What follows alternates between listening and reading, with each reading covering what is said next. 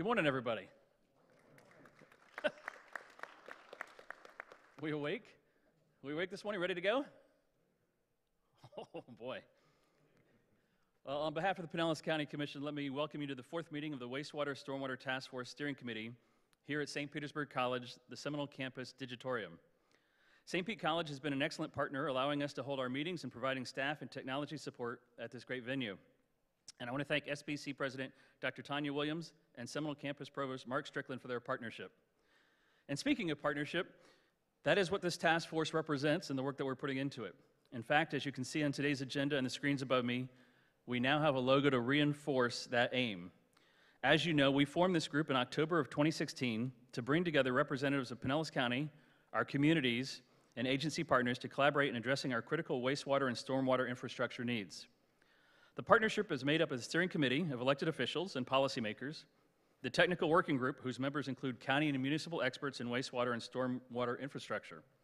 And first, I'd like to take a moment to have our steering committee members stand to be recognized. If you're on the steering committee, our policymakers, would you stand to be recognized? Mayors, elected officials?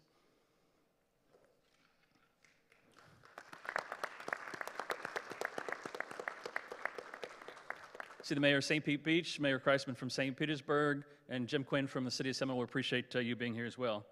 Now, if you're on the technical working group, the, the brains of the operation, would you please rise and be recognized?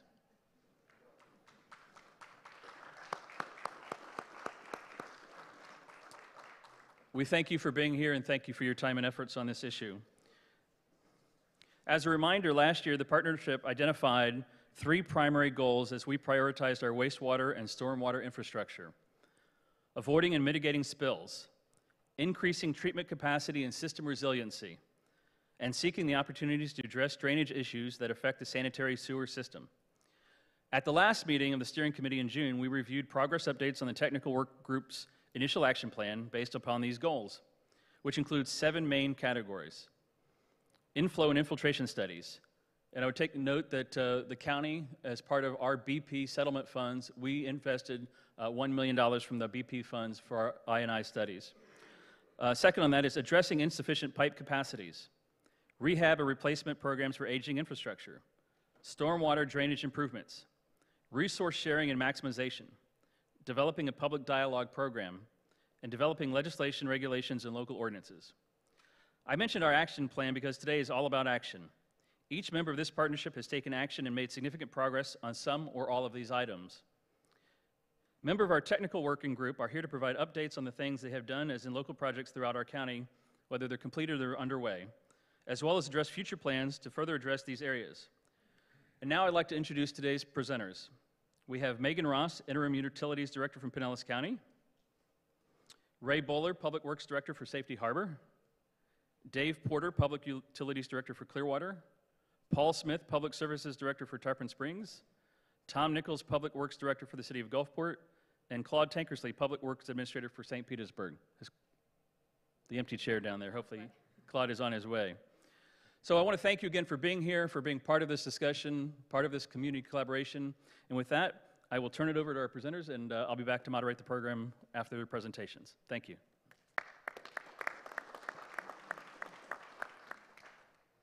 Thank you, Commissioner Justice. Good morning. My name is Megan Ross. I'm the Interim Utilities Director for Pinellas County. It is my pleasure to be here today to share with many of our local community leaders and partners our progress, not only to maintain infrastructure resiliency, but also to ensure a bright and stable future for our community and environment. To summarize in one word what today's presentation represents, as Commissioner Justice just stated, it is action. We have taken action, as you will see today, to invest, improve, and maintain our stormwater and wastewater infrastructure, and thereby protect public health, safeguard the environment, and provide stability to the very foundation of our community. Our presentation today will provide a progress report on our collaborative accomplishments. We will also provide a brief overview of our goals and action plan, We'll present some examples of our progress and conclude with an opportunity to answer questions. Before I continue, I'd like to point out that there is a website that you can visit to learn more about our program, our task force, and some of the accomplishments that we've made. It's www.pinellascounty.org forward slash task force, and it'll be up here throughout the remainder of the presentation. The core principles of the partnership's technical working group, or task force, include seven areas that directly relate to the importance of wastewater and stormwater infrastructure. These principles include maintaining public health and preserving the environment, particularly our water quality, which affects our entire community. To review, Pinellas County is made up of 24 different municipalities. And in 2016, Pinellas County partnered with 17 municipalities of the 24 who maintain wastewater and stormwater infrastructure. This partnership or technical group is known as the task force. Pinellas County in total has 12 wastewater treatment plants serving 306,495 customers, which yields a total permitted capacity of 155 million gallons per day. The task force goals that were agreed upon were simple to avoid and mitigate spills, overflows, and releases of sewage into the environment, particularly water bodies, to seek opportunities to address drainage and stormwater issues that impact the sewer system, and to increase capacity and resiliency of collective sewer system and wastewater treatment infrastructure. In order to meet these three goals effectively, the Pinellas County Task Force developed an action plan comprised of seven components to improve county-wide management of stormwater and wastewater in the sanitary sewer system, especially during heavy rain events. The umbrella you see here represents the unified strategic approach that the Wastewater Stormwater Partnership has taken, while the hand holding the umbrella represents the resource sharing and maximization that has made this partnership successful. The action plan includes the following components the first one is inflow and infiltration studies. This includes the assessment of our sewer collection system to identify areas of groundwater or surface water intrusion. The second component is system hydraulic bottlenecks. A hydraulic bottleneck is a pipe in the sewer system that fills up with water when it rains, and it is too small to allow all of the water through. Similar to a traffic jam bottleneck, this bottleneck causes wastewater to back up into the system and can cause sewer overflows upstream. In this component, we are working towards identifying those particular pipes and planning projects that will replace them with larger ones so that it can convey all of the wastewater. Our third component is rehabilitation and replacement. This action includes improving or replacing our aging infrastructure. These are pipes that are cracked due to age. Stormwater and groundwater can seep in through these cracks similar to how an old roof may leak when it is raining. The fourth component is stormwater drainage improvements. This action involves identifying areas where water is collecting or flooding during a rainstorm.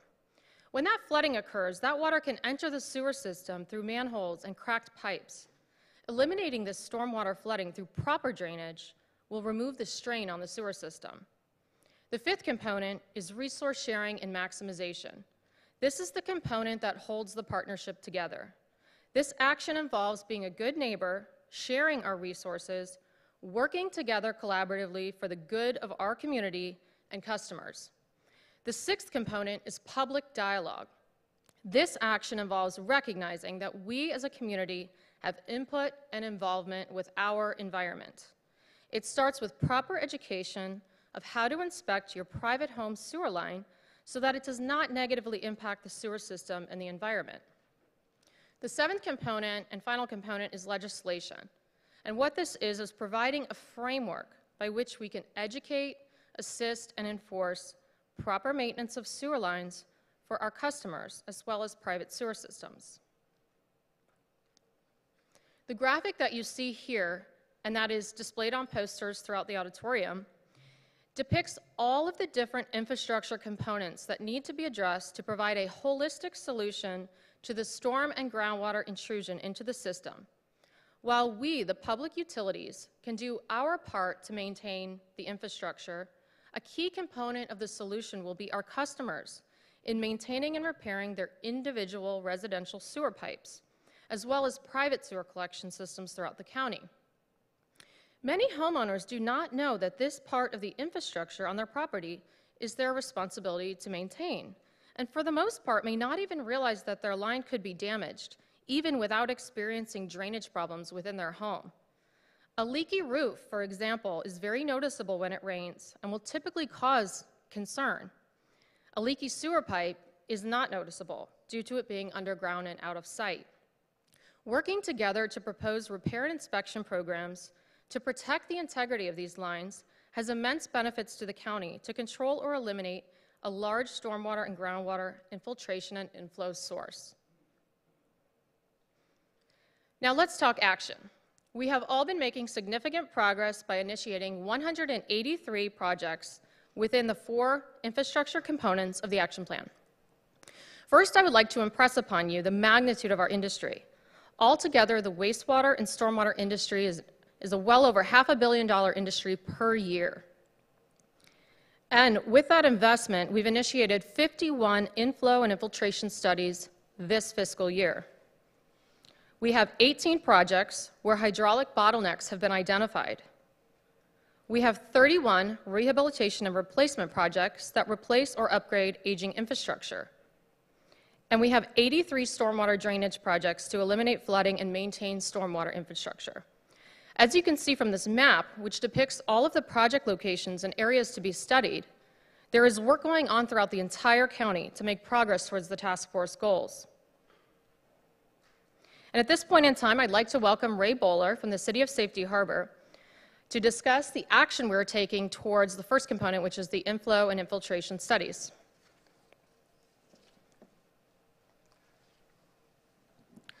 Good morning. Ray Bowler, City of Safety Harbor Public Works Director. I'd like to talk to you a little bit about the I&I. Uh, again, like Megan said, there's 51 projects throughout the whole county, not just the county, but all the cities as well. We have been doing this throughout our careers, but with this task force, collectively, we're all working together and coming up with ideas. I&I, which is inflow and infiltration. Inflow is really water that we're not intending to get into our wastewater system. Generally, it's stormwater. And where does that come from? Well, as the map indicates, we're th going throughout the whole city where those systems are coming from. What we end up doing first is cleaning and doing inspections. To clean it, we have, um, we have to, the lines are cleared and cleaned that come from blocks such as grease, wipeable flushes, or wipes, and other buildups. The inspection of the lines find impaired sewers, which then can be marked for replacement or for lining. The bottom photo shows a camera. We send that camera up into our lines to look for where we have leakages or cracks or failed pipes. Then we can go ahead and line which ones we need to or set programs in place where we're able to do those studies. One of the easy studies is a smoke test, and you'll see a video here in a little bit. But the smoke test is where we put smoke into those lines, we pump them, and you'll see them coming out of the ground and out of the roof vents. If it's coming out of the roof vent, that's a good thing. If it's coming out of a storm drain on the roof, or if it's coming out of your clean out in front of your home or behind your home where your sanitary lateral leaves, that is not a good sign. And those are really easy fixes and relatively cheap. What we'd like to see is if uh, you have a low area in your home and your clean out is there and the cap is missing, just put the cap on because that storm water will enter, that's inflow. Uh, once we find where we have some areas with that smoke testing, we can go ahead and set up flow monitoring. Flow monitoring will isolate these areas of concern, and then we're able to, again, come up with a project that would be able to address where that comes from. The hydraulic modeling helps us quantify a specific sewer line that's supposed to compare how much water is actually coming in and what is supposed to carry. So that will differentiate between um, the water, the groundwater, and the wastewater. The top photo is, shows where we've actually put a liner into, or a sock into an existing wastewater line, and it's being cured. We put heat onto that system, and it's a, an epoxy, so it seals the pipe and it becomes rigid, and it will then stop any of the infiltration coming into that system. The county is actually doing a in-depth study in the south area uh, of the county. There are 16 areas. This is a three-year study program, so they could try to locate much whether it is actually the smoke testing or even the flow monitoring and the hydraulic analysis, so they can pinpoint an area to help possibly eliminate any of the SSOs, the sanitary sewer overflows. We certainly are looking at a way to develop, mitigate any of these strategies to improve that collection system. And this last slide is the smoke testing. The city of Largo is going through this smoke testing area. And again, I mentioned how this can help determine where we have areas, roof vents or drain vents, or the slide. Can you run the video, please? It's hard not to be a little worried when you see smoke pouring out of homes and from the sewer. But City of Largo officials are getting the word out this is all normal. We're looking for leaks.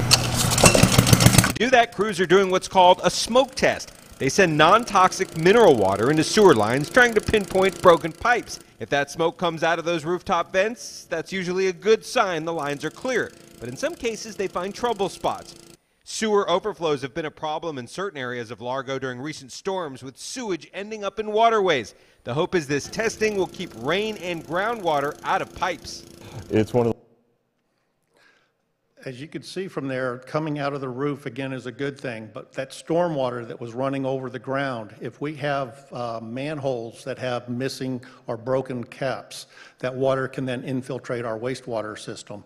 If you have that stormwater coming off of your roof and it's draining into your sewer lateral, into the caps, that again is extra water that we have to take in account and work in capacity at the wastewater treatment plants, which is what we're trying to eliminate. Um, Now I'll go ahead and bring Dave Porter, City of Clearwater, to talk about the bottlenecks.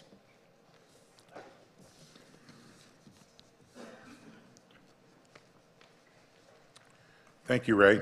Uh, Good morning, all. My name is Dave Porter. I'm with the City of Clearwater. I'm the Public Utilities Director. I'd like to talk to you somewhat this morning about bottlenecks.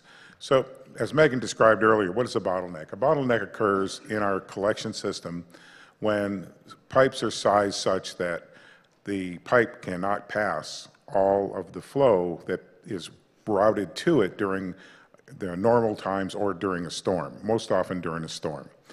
Um, when that happens, we have what's called a sanitary sewer overflow that occurs in the system. The, the sewage will actually back up into the pipeline, into a manhole, and then it can overflow. And that's when you see uh, the sewer uh, overflows that you've seen in the last storms. Normally, most of the ones you see today occur from two reasons. They either occur because of a storm event and too much water getting into the sewer, or because of some kind of a backup due to some kind of a plugging event that occurs in the sewer. Today, I want to talk about the first ones. What happens when we get a lot of flow in the, the lines, but the pipes, for some reason, just cannot pass it? Well, when that occurs, we must then determine where those problems are. So where is that issue, where is that pipeline or series of pipelines that are creating the problem with the sanitary sewer overflow? That sounds easy, but it may not be because the pipes are a network of pipes and any one or more could actually be causing the bottleneck. So part of what we do is we use the infiltration and inflow studies and some of the mapping and modeling that we'll be talking about today to look for those lines and also physically going out during storms and other events and trying to determine where those lines are backed up by looking in the manholes themselves. So there's 18 projects underway right now as we sit here today um, from members of our task force or communities in, in Pinellas County. Um, all of those projects have taken quite some time. Uh, as you might, might um, guess, I mean, we just talked about doing an infiltration inflow study, doing nighttime flow monitoring. Those types of things take time. And then when we find the problem, then we have to engineer a solution, obtain the funds to fix it, and get a contractor out there to actually tear it up and fix the problem. So let's look at a couple of projects that are underway, and these are examples of some of the 18. Um, In the city of Largo, they've just finished uh, construction and are now placed into operation a 5 million gallon a day flow equalization facility. This, this allows um, wastewater to enter the wastewater treatment plant itself at a much higher rate than the plant could probably handle during normal events. So that's the bottleneck there. Too much flow, the plant can't handle it. So what do you do? You capture that flow in a tank, and then you release it slowly over time so that that bottleneck is uh, alleviated. So the city's worked on that. It's taken quite some time, and it's a pretty large facility. As you can see, that tank right there is the 5 million gallon tank that holds the flow when, it's, uh, when it rains.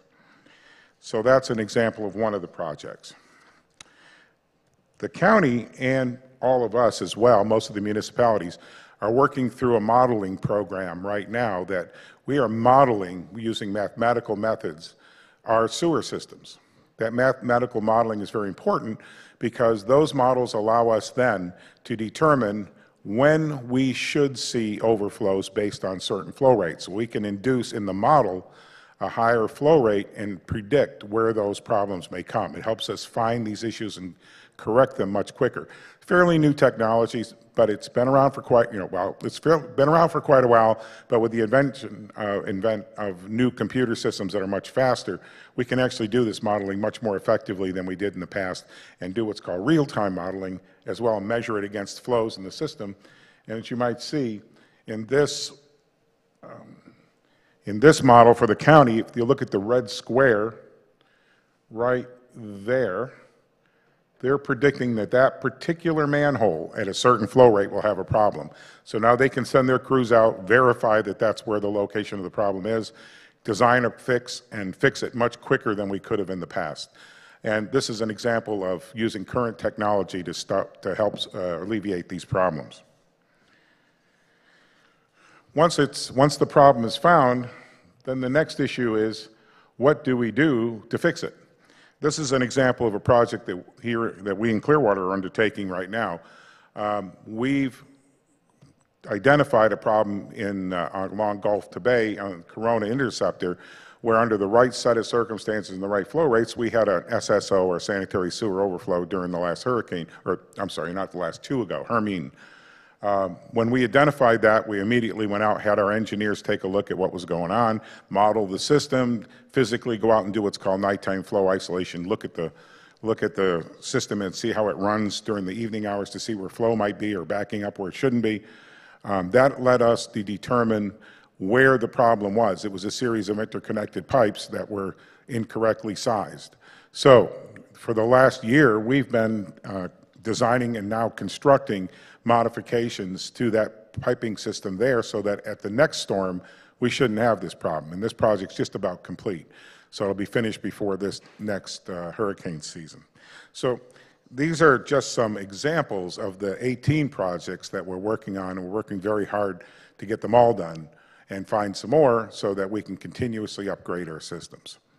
So with that, I would like to pass the, uh, the switcher here on to uh, Paul Smith with uh, City of Tarpon Springs.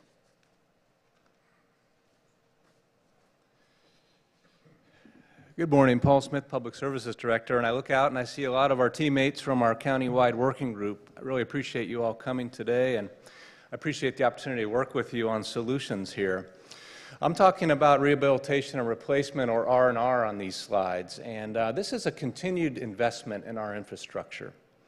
Once the cleaning and inspections are complete, we can take a look at our deficiencies and identify them, plan, and prioritize these projects.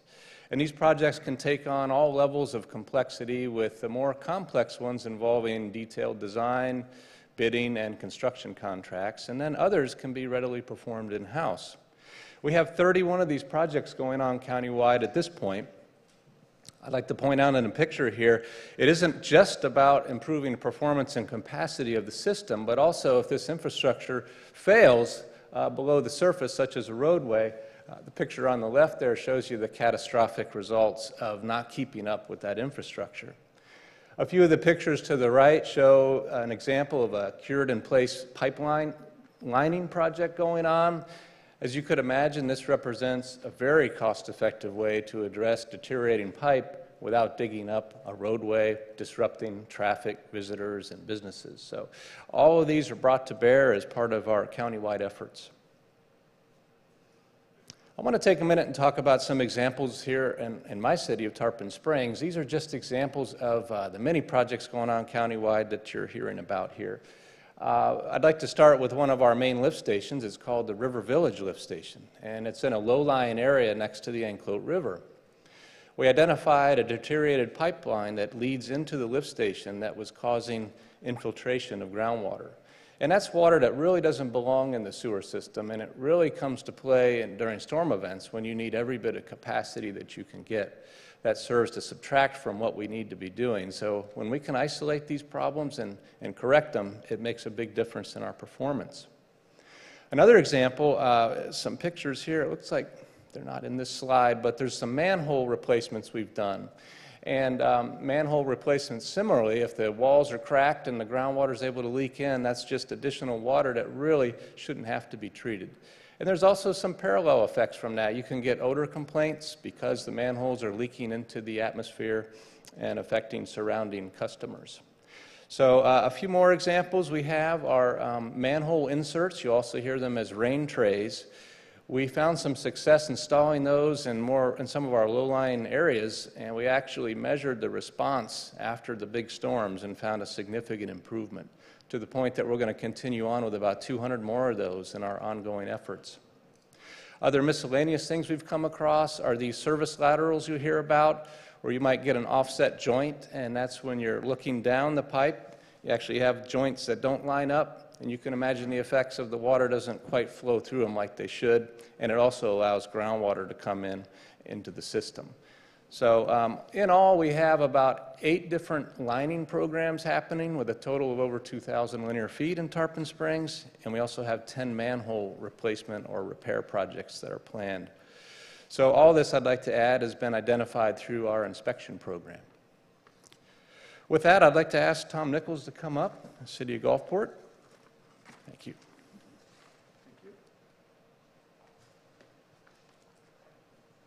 I'd like to take a few minutes this morning and talk about how stormwater projects directly benefit our wastewater system. The white. The white clouds on the screen represent current stormwater projects throughout Pinellas County. But more importantly, we have identified wastewater assets that are affected by stormwater inflow, as shown by the red clouds. Stormwater improvement projects are a key strategy to assist in reducing inflow and infiltration into our sewer system. Here is an example of how wastewater assets can be impacted by stormwater inflow. The green shaded area shows flood-prone areas that are directly over wastewater assets. The circled areas show manholes with confirmed sanitary sewer overflows. This is an area where we will look at stormwater conveyance improvements as well as pipe relining and manhole repair to help prevent stormwater from getting into the sewer system. Here is a project currently being evaluated in the McKay Creek watershed, where the sanitary sewer system is within the pond limits. Critical water elevations that can cause water to inflow into the sewer system have been identified through hydraulic modeling. Proposed improvements for this area include upsizing the pond to mitigate flooding, and inflow and infiltration, installing manhole rain covers, and to improve the stormwater system to properly convey stormwater downstream. We are also working together to use countywide cooperative purchasing contracts, which for smaller cities such as Gulfport save time, resources, and we gain economies of scale, which we would not receive if we competed uh, on our own. The county also received money from a BP Restore Fund, which was shared with the municipalities within a task force for stormwater improvements and flow monitoring projects. And with that, I'd like to turn it over to Claude. Thanks.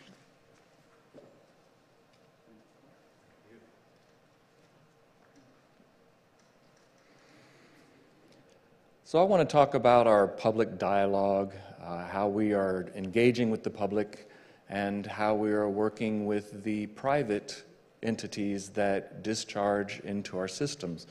So on the, on the public dialogue, here we are today. That's exactly what we're doing. We've been doing this now every six months, bringing to you the update of what this working group has been working on.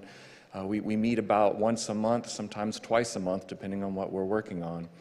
But uh, we're, we're coming together for events to reach out to the citizens, to our families, uh, sometimes in fun events, sometimes in these kind of meetings. Um, but we're working together to incorporate the best practices because being, you know, the most densely populated county in the state of Florida, even though I'm St. Pete and somebody else may be Largo, we're all in this together. And uh, our, our stormwater issues are similar and our wastewater issues are similar. And so bringing the public together to look at this as a holistic program is, is very important to us. We do have the Tampa Bay Estuary Program working with us uh, to, to put together a five-year campaign to help us prevent the, these overflows because obviously that helps with their campaign to keep the, the bay clean. Uh, and they, they're working with us to come up with some, some pilot programs for what we've been talking about in terms of the private sewer laterals. So at the very beginning, Megan did a really good job of explaining how our systems are integrated between the public and the private. And there are many ways that we could have private systems. We have some neighborhoods that are 100% private. The collection systems within that neighborhood, the lift station within that neighborhood is private. But then even down to the level of each and every one of us, our parcels that we live on or that our business is on, when, this, when the plumbing system ends at our wall, that's where the private system begins to take the wastewater out to the public system. And these private systems uh, can and do contribute to the I and I problem. Uh, nationally, there have been studies done to indicate that the, the uh, contribution of the private systems is anywhere between 30 and 70 percent. 30 and 70 percent, what a huge range. What, where, where are we? Well, right now, I can tell you that the city of Gulfport, the city of St. Petersburg, uh, the, uh, the county, and, and many of the other municipalities are going through programs to try to determine what is that percentage here. And we know that that percentage will be on, you know, broken down on a, on a case-by-case basis by neighborhood, by the age of the neighborhood, the, um, the elevation of the neighborhood. There, there's a lot of different factors that'll be involved, but we, we are working to try to figure out what it is here that is the private um, inflow and infiltration uh, contribution. One of the things we're working on, though, is to put together an ordinance that could be used countywide that we anticipate and hope will be adopted by the county as well as all the other municipalities and utilities within the county that will make it as, as standard as possible across the county in all the jurisdictions on how to deal with the private laterals. Uh, the state and many of us currently have laws on the books that state that it is illegal to introduce stormwater and groundwater into wastewater collection systems. So that's already established. That's established law. What we don't have right now, and what surprisingly enough we're finding is does not exist in other municipalities in the state of Florida, is how to encourage and cooperate and enforce that law. And so that's what we're doing. We're working together to put together this ordinance that would establish the responsibility of the public sector to maintain their facilities and to accept and treat and safely dispose of the sewage provided to the public facility by the private users. The, the ordinance will establish that. It'll also establish the responsibility, the responsibility of the private users to make sure that their systems are not introducing stormwater and groundwater into the public system. And for us as the private users, we may not know this happening as long as our sewage is not backing up into our house, we don't have any indication. We don't have any way of knowing that we may be introducing stormwater or groundwater into the system. So our ordinance is going to be looking at a way that we can work with the private citizens, with the private utilities, to make sure that we can find ways to check, find ways to establish whether there is this leakage or not. At this point, I'd like to go ahead and turn it back for the closing remarks, and I appreciate the opportunity to speak to you this morning. Thank you, Thank you Claude. And uh, while we're on the subject of private uh, lateral lines and home, uh, private sewer lines and homes, uh, the city of Gulfport just came out with a great program um, to match funds for homeowners who want to replace their lateral lines. It's, um, if you'd like to learn more, go to the City of Gulfport website. I'm sure we can also post that information on the task force website as well in the, in the coming days. So I just wanted to announce that. Uh, Moving on to conclude, I- as you can see, the task force has started implementing and made significant progress on five of the seven initiatives identified in the action plan. Great strides are being made with inflow and infiltration studies, identification of and correction to hydraulic bottlenecks, implementing replacement and rehabilitation programs, and identifying stormwater drainage improvements that will minimize impact to the sewer systems. We have demonstrated that the wastewater stormwater partnership is successfully working together towards common goals of avoiding and mitigating sewer spills, seeking opportunities to address stormwater drainage that impact the sewer system, and increasing capacity and resiliency of our collective wastewater infrastructure. The remaining two initiatives are public dialogue and legislation to address the private sewer lines and systems. Even if we, the public utilities, complete every project to address the first five initiatives, our community's success depends on the awareness and involvement of our citizens. As you have seen, efforts are currently underway to address these two items through development of a social marketing campaign, the Tampa Bay Estuary Program, and research of legislative options. It is our intent to present options for these last two initiatives to the steering committee to consider in the coming months. In conclusion, on behalf of my partners from the Technical Working Group, I would like to thank the steering committee for your continued leadership and support. Through your guidance, we have been able to collaborate and ultimately take action to invest, improve, and maintain our critical wastewater and stormwater infrastructure that is so vital for our community.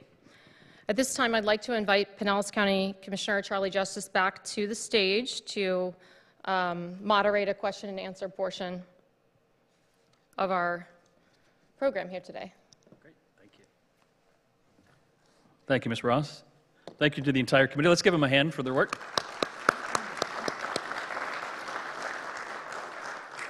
And you can see the work is impressive, and it's on a parallel path. They're not only tackling these new issues that we presented with them in October of 2016, but they're also doing their day jobs, which is our normal maintenance and operations of our system. So we appreciate all the effort that you're putting into it. Before we get into the question and answer, I do want to recognize my colleague and good friend, Commissioner Dave Eggers has arrived. Thank you for being here, Commissioner. We appreciate it. And you also heard about the Tampa Bay Estuary Program. I want to recognize Executive Director Ed Sherwood is in the audience. Thank you, Ed, for being here this morning as well. So let's begin with some questions. If you have a question for the committee, uh, do we have a microphone? Jim, if you stand up, there's a microphone right behind you. Jim. Thank you. Uh, My question, uh, uh, I believe that most of our problem is 95% wastewater. So my question is about the single-family homes that have their downspouts hooked to their sewer line. We know that's happening. Do we have the power to make the homeowner disconnect them? I understand that there, there is a law on the books, but it's, it's still going on. Maybe we should have, every city should have in their uh, building codes that you will not put your stormwater lines, hook it to your sewer line. So I, I'm sure it's happening. I just want to throw that out there. So, so, yes, sir, can, can you hear me? Yes, yes, sir, it, it is happening. And uh, what, what you'll often see is during these smoke testing uh, work that's being done during this dry time of year, when you see the smoke billowing out of somebody's gutter, therefore you know that it is connected. Uh, At the city of St. Petersburg, we actually have one of our code enforcement officials with us while we're doing this test so that they can, they, they can write down and monitor the address, what was seen, we can take photographs, and then we will contact the homeowner and, and let them know how this does impact our system and ask them to please disconnect it, and we give them a time frame to disconnect it. And uh, we have found actually that, that the vast majority of the homeowners were unaware that they had done it, or, um, and, and if, even if they were aware, they were very willing to work with us. We've heard, uh, I was at a forum, I don't know, a few months back, and, and one of our state legislators uh, opined that people were just, during the stormy season, just opening out their cleanouts and letting the water flow in. Do we have an idea of, I mean, realistically, how, how often that's happening? Frequently. Frequently. I mean, I never thought to do it at my own home, so, uh, but uh, now I have an idea, I guess. Yes, ve- very, Kidding. very, very frequently. Um, of course, all of us, we, we tend, you know, there's, there's the, the saying that uh, uh, think globally, act locally. So when our own yards are flooding, we want to act locally to that. And oftentimes, our folks just don't realize what happens when they're draining their own yard. Yay, good for them, but they don't realize the impact to their public utility. And so that's part of our public dialogue. A- number of us, I'm sure all of us, are also looking at and already installing uh, caps on the city side that actually prevent the homeowner from unscrewing them. So we have locked caps that we can control. Now, that's not true with the homeowner himself, but we're usually down gradient from them, so they usually like to open ours. So we make sure they can't open ours. And uh, dealing, uh, our public uh, relations work, we hope will help us get the message out to folks out there in the community that opening up your drain spout or um, your uh, sewer cap or having your roof leaders attached to uh, the sewer system is a bad idea, and that we all need to work together. Because in reality, this is a team effort. Our customers, our utilities, our cities, we all are one. We work together collaboratively, and we all need to understand what we need to do to make this successful together. Thank you, Mr. Porter. Another question? Commissioner Eggers, we have a microphone. Yep, thank you. Uh, Also, thank you to the professionals that do this every day. I know you guys have been working on it, guys and gals have been working on it for years before this came to light in the last couple of years. So thank you for all the work that you've done and continue to do. Uh, For those of us uh, that might be in decision-making or our residents who might be listening, uh, what's uh, just uh, the estimate, uh, can we come up with an estimate on how we're making progress in a percentage on our stormwater side and, and on our sewer side of making this problem uh, better? In other words, have we, have we, have we taken care of 5% of the problem, or are we at 25% solution? How much further do we have to go? I think that's important for us to continue investing dollars, and probably one of the most important things that we can be doing. But we got to hear from you guys, candidly, what that, what that challenge is. So thank you. Well, as far as the action items, there were seven action items identified, and as, as we stated in the presentation, five of those are significantly underway um, as far as those infrastructure components. But a lot of those projects um, identified for this year, you know, we need to identify projects for next year, the year after, the year after. So, you know, that piece is underway and is taking place, but it is going to take time to actually go and make those investments and do that work. The last two pieces are what we're going to be focusing on are the legislation and the public dialogue, which are the two pieces that we really need to get a strategic approach to and wrap our hands around. Anyone else? Yes, I- one of the ways that we can measure our success is to have data that shows us what the flow rates and the flow volumes are in our systems during dry periods as well as during rainy periods.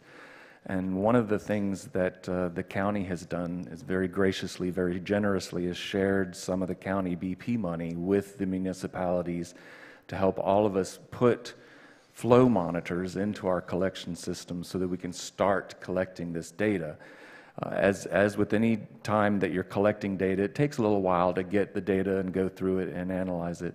I can tell you, though, that the preliminary information that the city of St. Petersburg has from our data is that some of the efforts we have put in to reduce inflow into our system seems to have paid off to, a, to an approximate 10% reduction in the inflow values. And that was a, a, a big surprise and a, a very happy surprise for us. We still have a ways to go. Um, but one of the things we have to keep in mind is that these systems are already old. They will continue to be old.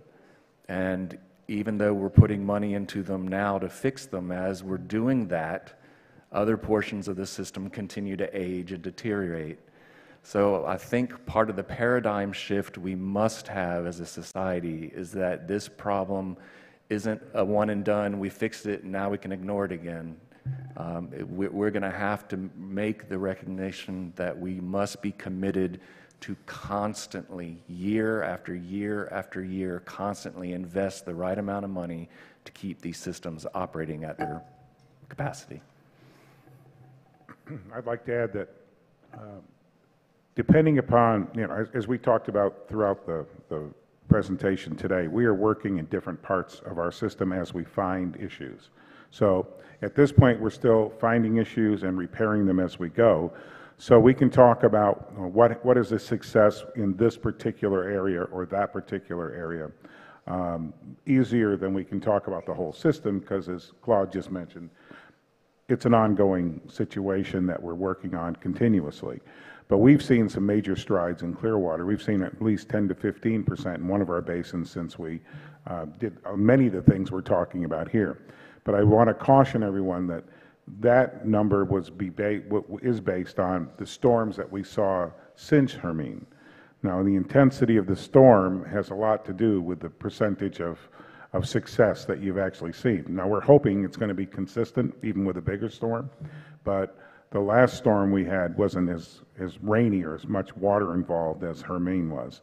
But we are definitely seeing progress, and that's what's important. So we're making strides and moving ahead and moving ahead. And I feel very confident that over time, we're really going to see a major difference. But as Claude said, our systems are all fairly uh, old at this point, and they're going to, it's going to be a continuous re- rehabilitation and replacement project forevermore. That's just the way the system works. If I may add to that, Paul Smith here. Uh, One of the things we haven't really talked about is some of our other partners that we're really going to be needing to work with, including our power company. I think as we move forward and we're um, taking care of the things we directly control, getting that low-hanging fruit, I think we're going to really be looking towards our utility partners, the things that we don't totally control. Because although we've made big investments in more portable generators, we all know the logistics of that, getting those people around to drag those things around from place to place for 24 hours, for five to seven days. Um, If we can cut back on that through more reliability with the electrical grid, I think that the chances of these overflows goes down as well. So I see that as a strategic partner moving forward as well. Absolutely, I concur. And I think from uh, a, a lot from the, certainly the policymaker and the public perception from where we were in the fall of 2016 to where uh, the world was coming to an end, uh, to get to a point where we've identified the problem and actually have a laundry list of, you know, uh, of goals and what's the next box to check off is um, significant progress as far as I'm concerned. So, further questions? Mayor Kriseman. Thank you.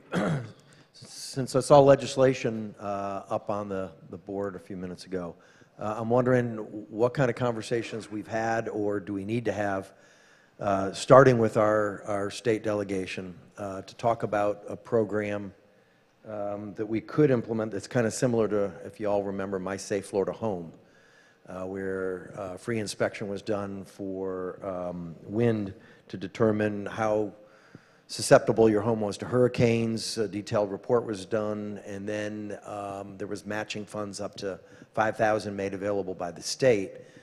Uh, I think we all know that laterals, private laterals, are a significant source of uh, the INI, and maybe some kind of program similar uh, with state funding to not only pay for the inspections, but matching funds.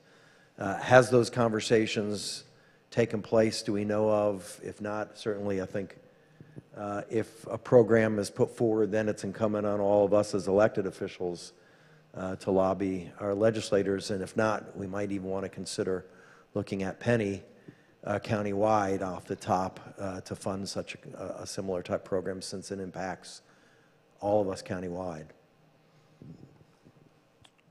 Who would like to tackle that one? Well, I mean, I can say there's definitely been a lot of discussions on this particular issue, and um, I, I don't know that we're ready at this point to bring that forward. I think there's going to need to be more discussions and agreement on that total picture of what we're looking at. So, um, you know, our first initiatives are really to tackle our infrastructure piece and get that going. And um, I believe now we're going to turn focus towards what you just stated, is looking at all those other opportunities for private lines. Does anyone else have anything to share on that? Yeah, I di- I did want to say that one of our initiatives that I think we're very, very close on, is to come up with an ordinance that will address private laterals and the responsibility of homeowners as well as the cities and, and county. Um, we felt pretty strongly that that needed to be uh, accomplished first because then we will have the tool necessary to move forward if the legislation were to take place. I think once that tool's in place, then we're going to be working toward coming up with a recommendation. It certainly wouldn't be this task force that will bring it to the legislature. We'll be, we'll be coming to you folks, our decision makers, and asking you to work with us and, and um, talk and see if we can find a legislator that wants to sponsor such a bill. So that's where we are. We are moving forward uh, with it, however.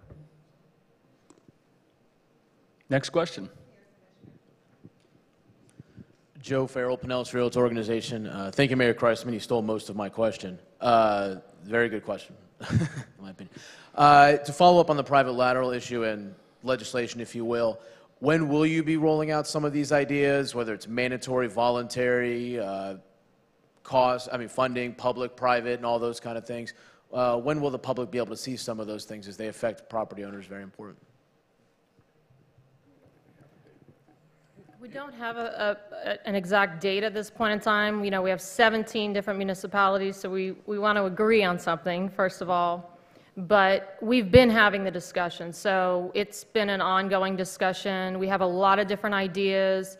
We are also looking towards nationwide. What are other municipalities? We are, we're not alone. You know, there's other municipalities that are doing things with regards to private laterals, whether it's going in and replacing them themselves or putting an ordinance in place. So we're, we're actually looking outside the state of Florida to what other municipalities are doing throughout the nation. Um, because we're pretty, we're on the cutting edge as far as Florida, the state of Florida. So we're just looking at best practices, uh, putting a framework. What does it mean? What is the definition of a deteriorated private lateral line? How do we define that?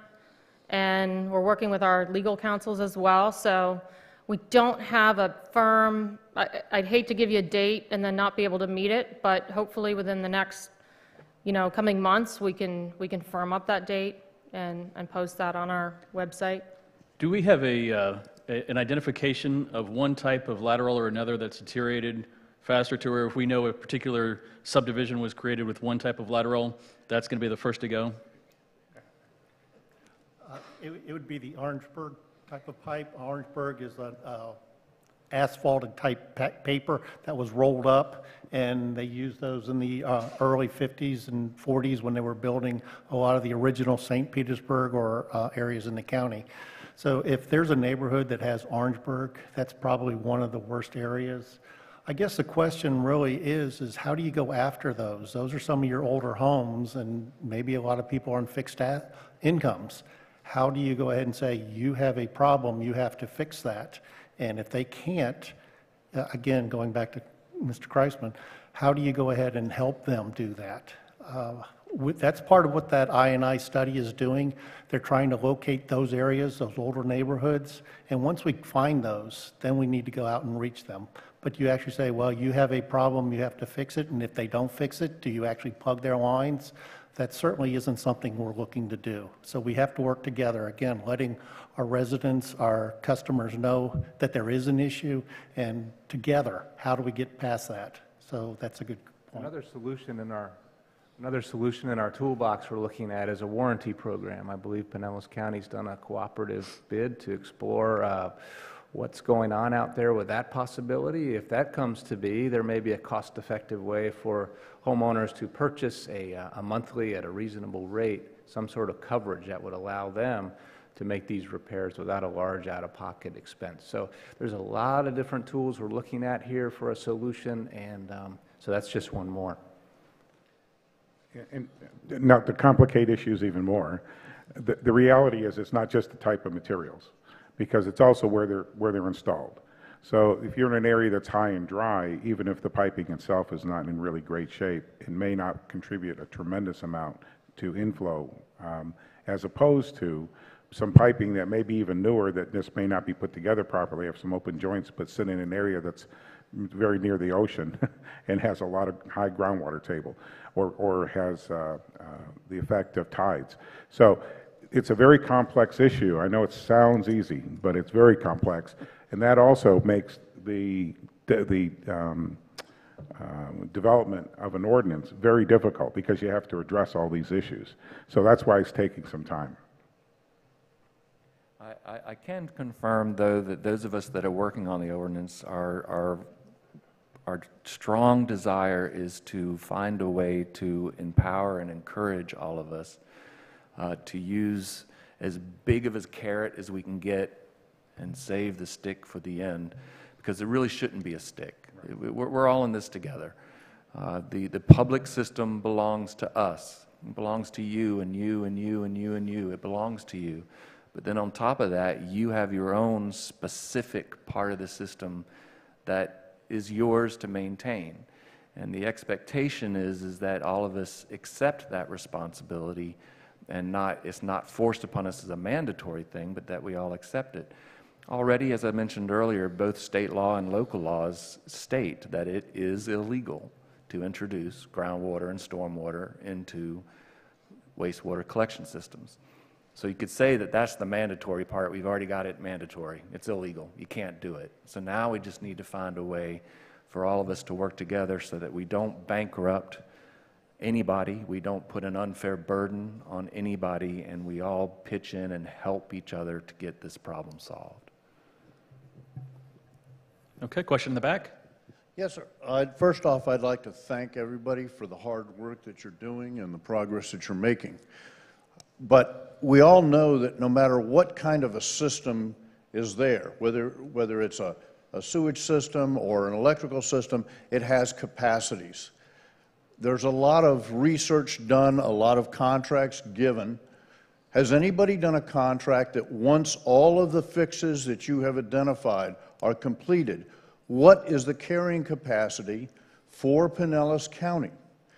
Because no matter what we do with the system, if we overpopulate the county, we're going to run into the same problem again because the system won't handle the growth that's there. So we should have a study that says this is what the carrying capacity is, and that should then lead the leaders at, at the county and at municipalities to determine what kind of growth we can sustain and still maintain a quality of life that the people in Pinellas County want. So is there some idea of what the carrying capacity is once you finish all these improvements? If I may, yes, the city of St. Petersburg has done that analysis on our system. Our, um, our capacity, the carrying capacity of the collection system far out, far exceeds our ability to actually treat and dispose. So we've got plenty of carrying capacity, so to speak. The problem that we run into is not the, is not the capacity to deal with the people who are here. It's the capacity to deal with the leaks in the system.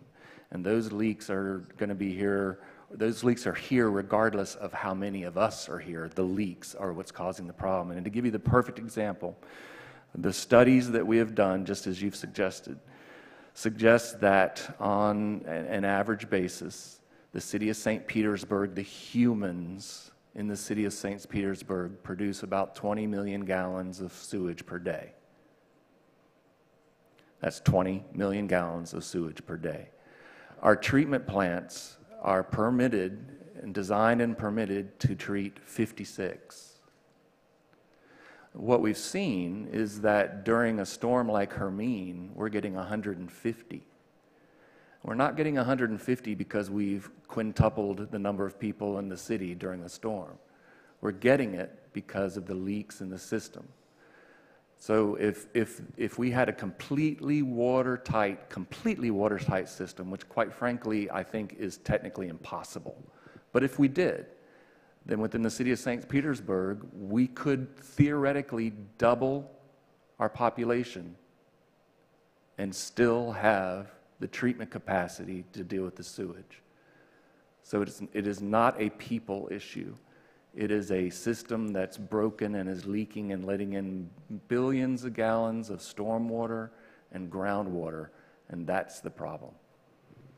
And I'll echo what Claude said. It's, I, I think we're all in the exact same Our, our design capacities well exceed our typical daily flow on a non-rainy day um, by factors of two, three, four times. So in some cases, it's really that rain event and the stormwater, groundwater intrusion that is, that is causing the issue.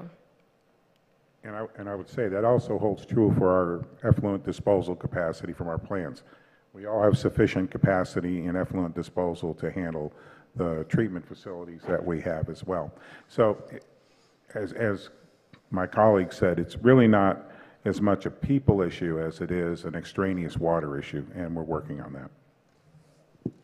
It's a question up front.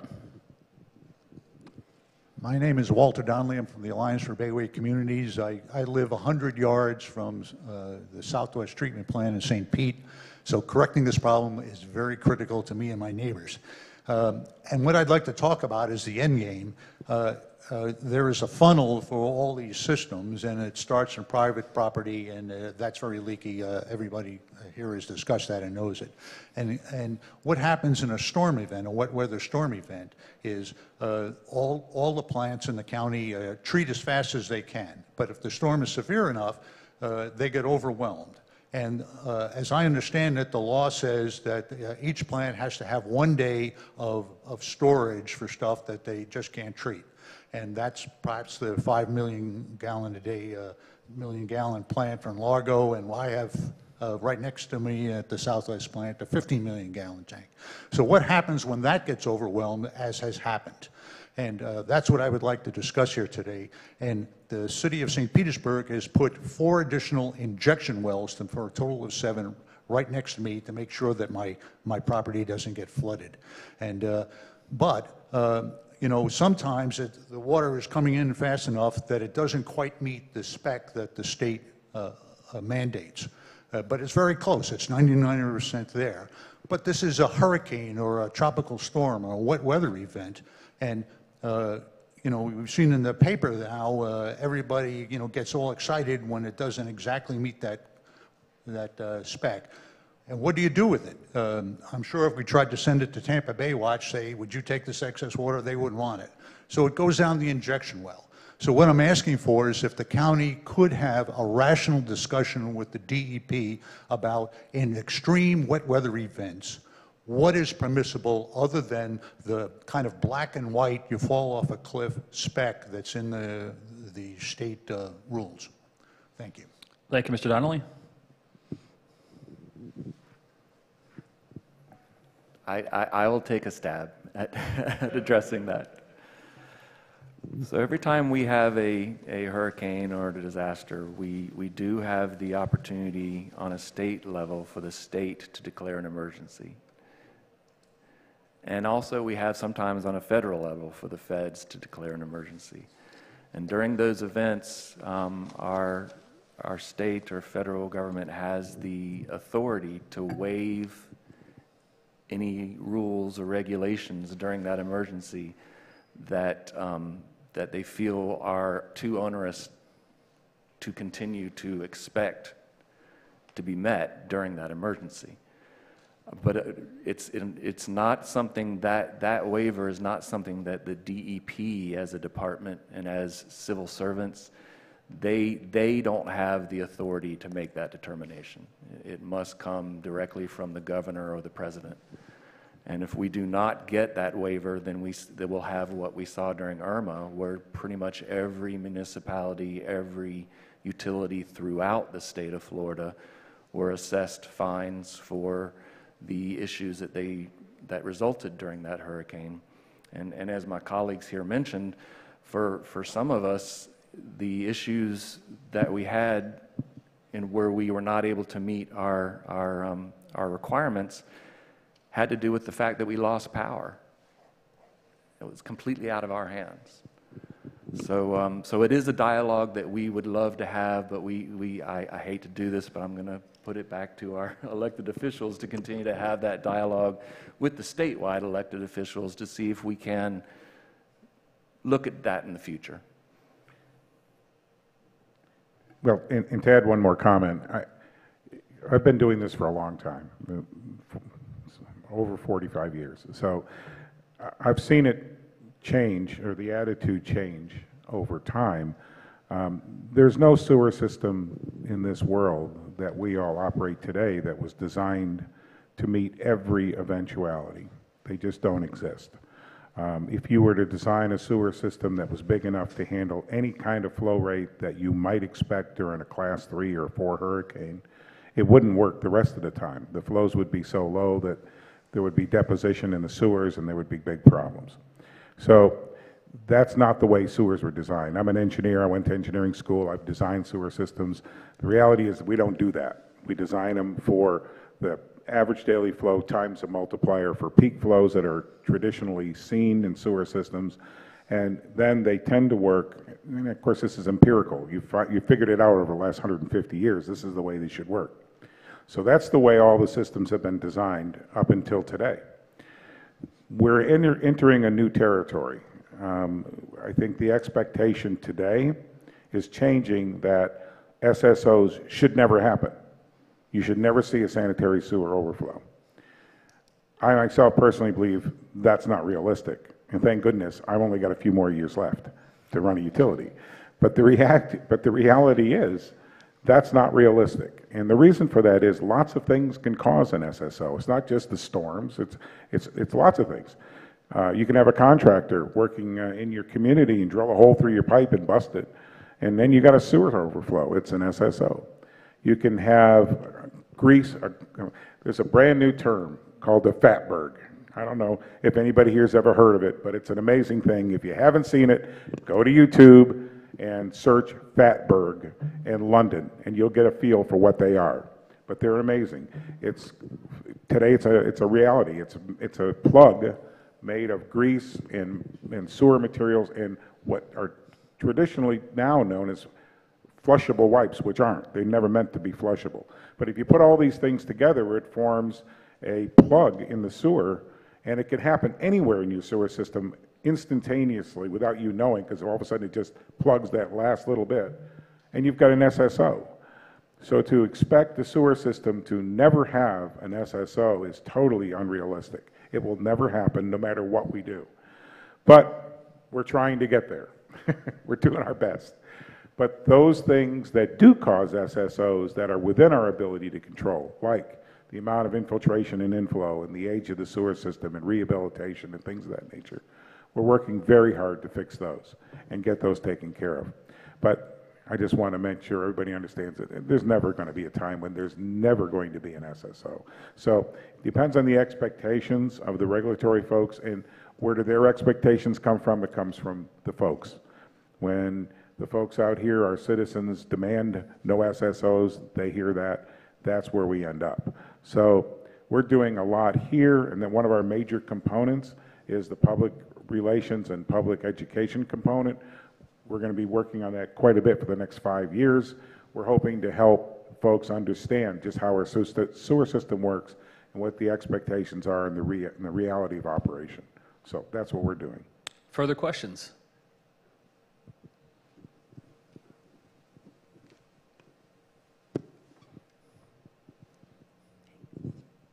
Hi, I'm Lara Milligan. I'm with Pinellas County Extension as the Natural Resources Agent.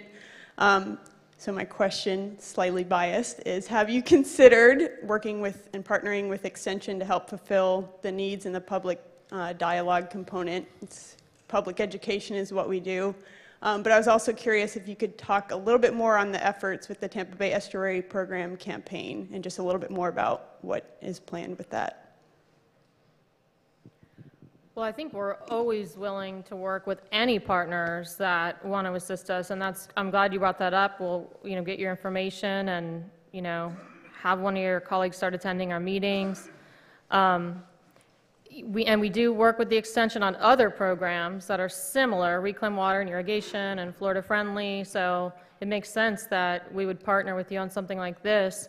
The Tampa Bay Estuary Program campaign is really looking at how do we develop a framework for the public dialogue? A lot of the public, like we stated in our presentation, doesn't realize that they have ownership of a certain part of the sewer system. They also don't realize there could be a problem and or who to contact if they want it inspected what are those steps that we tell the public to take that are easy and simple and streamlined? So that's what the Tampa Bay Estuary Program is going to help us do.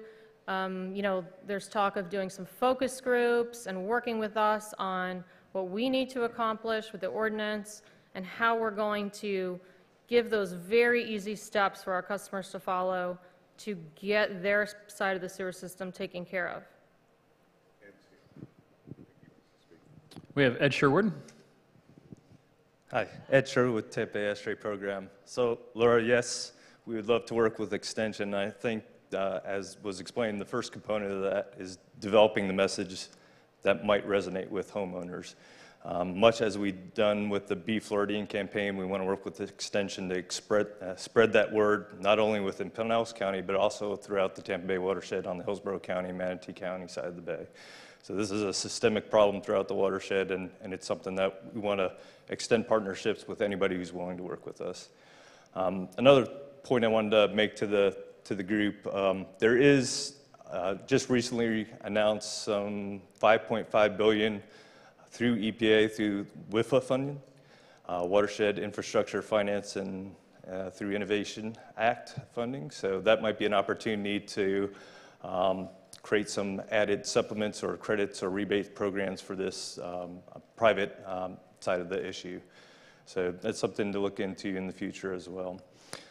I also had a question while I have the mic. Um, there was discussion, I think, early on, um, back in 2015 to 2016, uh, for those facilities that did have capacity to accept additional sewage. Is there, has there any been more dialogue between the wastewater treatment plant facilities, there's 12 of them now in the, in the county, of moving water around during those high flow events where people might have capacity except um, from a plant that might be running into some issues. Um, have, have those dialogues happened amongst the different municipalities? Or is there a plan now in place um, for the next event that might alleviate some of those problems in the future? Great question. So, well, I, I, go ahead. Go ahead. Go ahead. Believe it or not, while I, that, that idea is a wonderful idea, it's also one of the most expensive ideas. It's um, because of the location of our different treatment plants, uh, they, they are not necessarily very close to each other. The sewage would not be able to tr be transferred most, most likely by gravity it would have to be transferred by pumping, which then involves uh, energy. Um, and so that's been what we've been trying to focus on lately is, is the low, lower hanging fruit, the things that we know we can do um, that, that cost less money. Uh, St. Pete has not had any conversation with any of our neighbors yet about us um, doing that kind of transfer share. However, I can tell you within the city, we are looking long term of we've got three plants of connecting our three plants so that we can we can do that. Uh, we already have one project that's been designed, and we're just waiting to implement it once we get the plants to the, where they need to be individually. Uh, and then um, we, we hope to one day have all three of our plants interconnected. Uh, but again, the, the cost to do that is so significant that we've been focusing in other areas. And I, I'd like to add something to that as well. One of the other issues you have to consider when you start talking about changing um, or, or, moving sewage from one community, it usually means moving it from one discharge location to another as well. So when you start taking sewage from one spot, taking it to another, and that plant discharges into, uh, let's say, Tampa Bay, at the old Tampa Bay, um, that's going to put additional loads on old Tampa Bay. So you have to, you know, it's, it's a very complex, um, very, I'll echo, extremely complex, extremely expensive proposition. Um, we're, Clearwater, we're doing what St. Pete's doing. We have three facilities. We already have some interchangeability between the three plants, but not all we would like. We're looking at that. Um, but even we have that issue because two of our plants discharge to one location and one to another. And when you cross, now you've got to talk about permitting issues with the DEP because you're going to influence different, different uh, water bodies. So it's very complex even within your own city, but it gets really complex when you start talking across lines. Not to say it'll never happen, but it's down the road quite a ways. Another thing I'd like to mention is a lot of that water is really storm water that is in the sewer system, and that's really not the best treatment ability for that stormwater. That stormwater needs to go to stormwater treatment facilities, which can treat that water and is designed to treat that water. Putting it into the wastewater system disrupts the entire treatment process when you have enough water in there, um, and, you know, the biological process can't work appropriately. So you really want to get those two waters separated and where they need to be, they can get treated properly, and that will have the most minimal impact on our environment. Mr. Smith, did you have something? Yes, thank you. I just wanted to go back a minute to the public dialogue. I just wanted to add that the, uh, the power of communications with our citizens cannot be underestimated. I think uh, the example, Pinellas County Utilities with the water use, if you look back historically, what uh, we've been able to do with that, um, dropping that per capita water use through um, partnership with our communities and uh, incentive programs. I think that's the kind of successes we're looking for here with this type of problem. Thank you. Further questions?